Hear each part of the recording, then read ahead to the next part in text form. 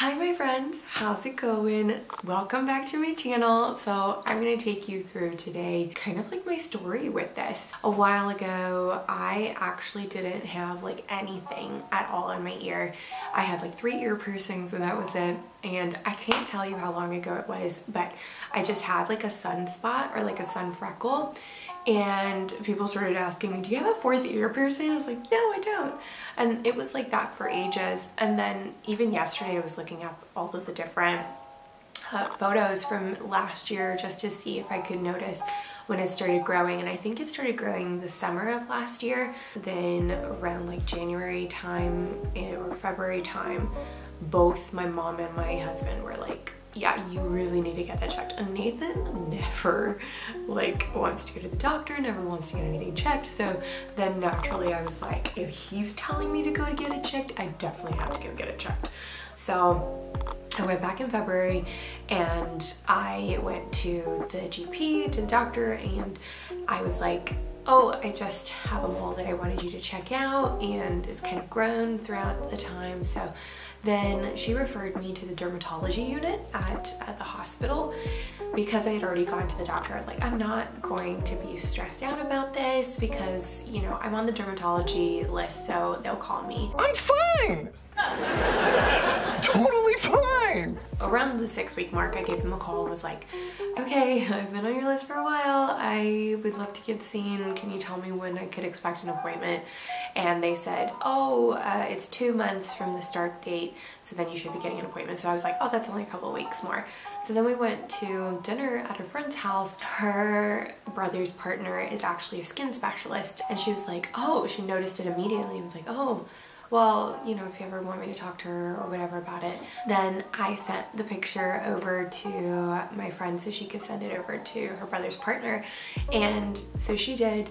And then the next day she said, I am concerned that it's melanoma. She needs to get it removed as soon as possible. It will continue to grow throughout the weeks and that could alter treatment options. So when she sent this, I felt a little bit more of an urgency to it. it was like, okay, I really gotta get this seen to, I gotta get it removed immediately. So we started calling uh, the all of the different private clinics and private hospitals and even they were like, oh, we've only got July and etc. And I was like, July? That's months away. I can't really be waiting that long. Finally got one that my friend had recommended. But then I was like, okay, I'm just going to give the NHS a call one more time, see if I can get an appointment. So they so I rung them up and I was like look I spoke to a skin special about a specialist about this. I really uh, she said I need to get it removed immediately. And so she was like okay let me see what I can do for you. And then she got me an appointment within a week's time and I was like oh thank you God. Like this is great that we finally have a date set. So that is tomorrow now at 9 a.m. I still kept the other appointment at the private um, clinic to get it fully removed by a plastic surgeon as a backup just in case they end up referring me anyway and so we're gonna see how it goes tomorrow at 9 a.m. You know when my friends ask me how how are you feeling? I don't know why it's coming out all loud and squeaky because really I'm fine. Sometimes the fear can kind of creep in and it can kind of say, I don't know, that it's bigger than maybe than what I imagined and that can be a little bit scary. But I remember when I heard from the skin specialist and the next day we were over in Nice in a botanic garden and I was just looking at all of the different plants, all of the different, there were so many insects and bugs and amphibians and things that I've just never seen before in my life. And I was like, oh my goodness. I just can see the amount of detail and just the wonder of everything that God has created. He is so in all of the details. I was like, God, you haven't forgotten me. I know you haven't forgotten me. I know that you're allowing this to happen you're gonna use it for my good. But I think sometimes it can be a little bit scary. It can be like, oh, what if it's further along than I imagined? But I thought I would share this with you guys just to go through my journey and also to encourage you if you've got a mole, get it checked out. If it's been growing, get it checked out. Also, put sunblock on your ears, people. I don't think I really put much sun cream on my ears. I actually said this to my friends and they were like, no, no, we put it on our ears. And I was like, oh, just me then. I don't know, I guess you never think it's gonna be you. It's just unknown. I feel like I'm definitely the type of person who struggles with the unknown. I guess overall, I am just confident that God's got me. But at the same time, it's like, of course fear is gonna come it's natural in this life, but we can't dwell on fear. I cannot dwell on fear because it's not gonna help me in the slightest. I have nothing to fear. He hasn't given me a spirit of fear and he has he hasn't promised an easy life. Jesus said that he will that we will have struggles in this world and trials, but he has overcome them. And so to have that just does bring me the peace. And now let's find out together. So I just want to make videos that encourage people, inspire people, and just bring a bit of joy and happiness to your day, even in the hard times. So come along with me and yeah.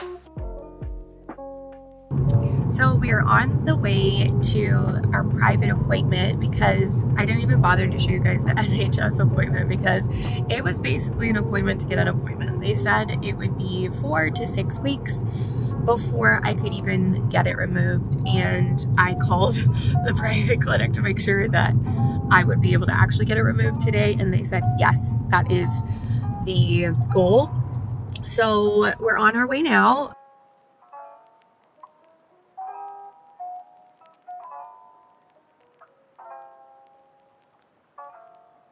So it was very quick. I got a local anesthetic to my ear and uh, he kind of talked me through the different things that would happen. He would first just take off and do a biopsy and then send it off for testing. So local anesthetic, he stitched it up together. But if it comes back and it's precancerous, then he's gotta do another surgery and kind of go around it.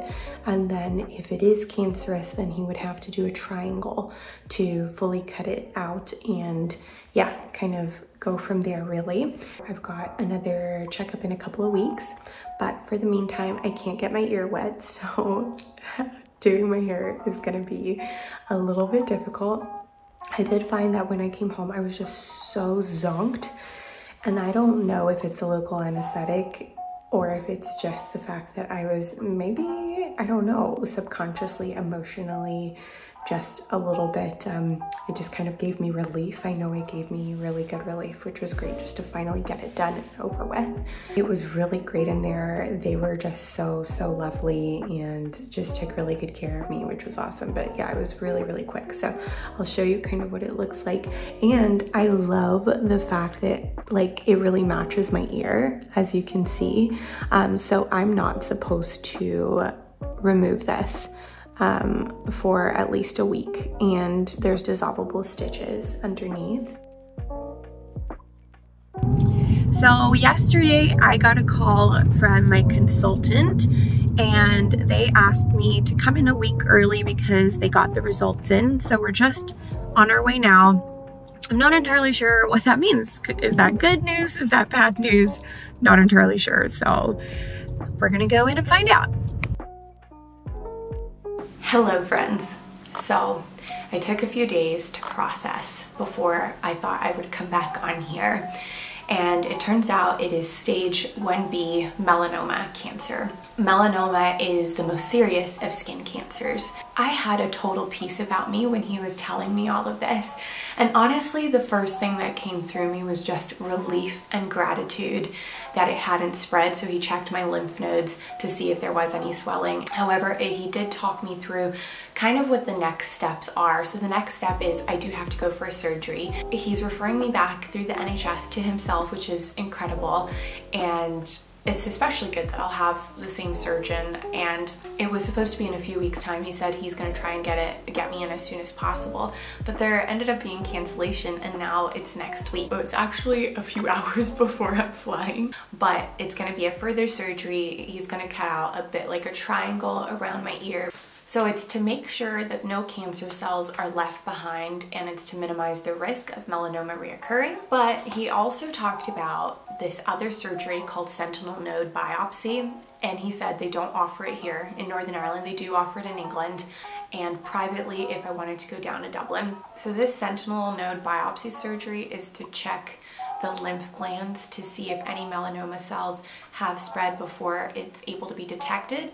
He doesn't recommend it because it has to be done at the same time as the other surgery and he says that it needs to get done immediately and it can't really wait because there's huge waiting times in England for this surgery. And for the first few days, all I felt was relief and gratitude to the point where I, it felt like it wasn't a big deal. But then I read over the leaflet that he gave me and talking about this and a little bit of the fear set in again because when it spreads to the lymph nodes, it's actually quite serious. Reading through this, it gave me the what if. What if it hasn't been detected? What if my mind just got ticking and ticking and ticking? I was up here and then I just went down. In actuality, of course, you're hit with these weird news because you never think it's gonna be you. I feel like this whole process now has really moved into trust in God zone. It's the zone of unknown. The unknown does scare me. Of course it's scary, but it's the it's the realm of faith. It's the realm of trusting in God completely, and that's not to say that that's easy because it's unknown. And I'm a planner. I love to know things. The fact that they don't offer that here in Northern Ireland kind of made me feel like God was like, not depend on me. And don't think about the what ifs. Rely on me to take care of you. So it's weird because some days I'm just feeling absolutely great about it and not feeling like it's a big deal because we caught it before it spread. And on other days, I do feel like actually this is pretty serious. So what happens next after the surgery, I'm gonna be having to go back every three months for the next three years to check on my lymph nodes, to check any other moles, to see if anything has grown and anything else needs removed, and then another every six months for the following two years, so then I can be five years cancer free.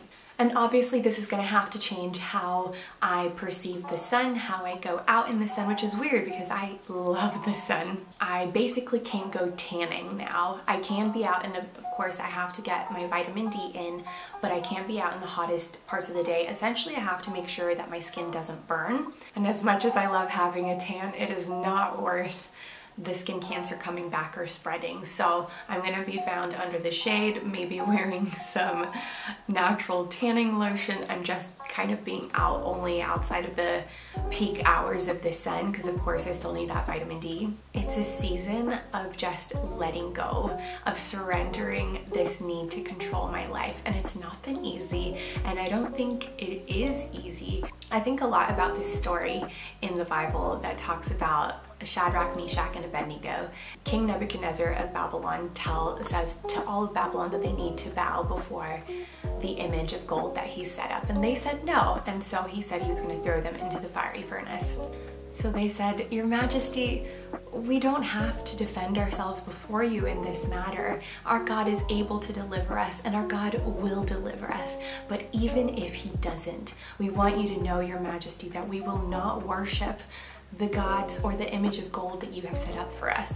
For me, that has just been ringing through my head this entire year. Our God is able and he will do it.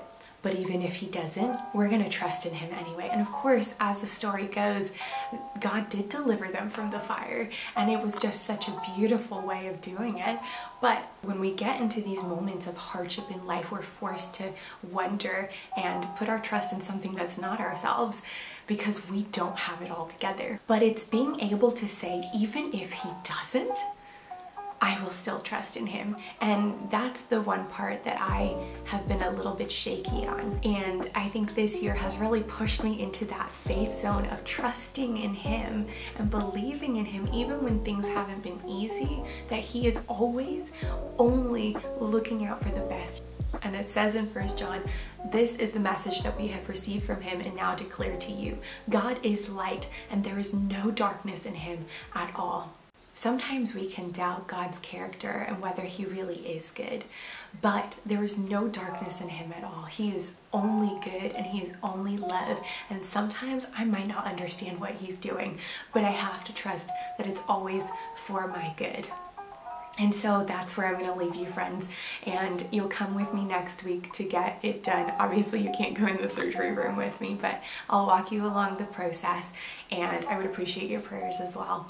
But that's kind of where I'm at. Overall, I'm just gonna trust in God.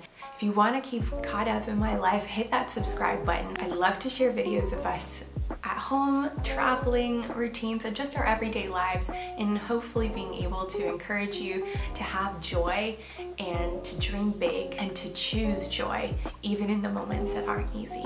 All right, I'll catch you soon, friends. Bye.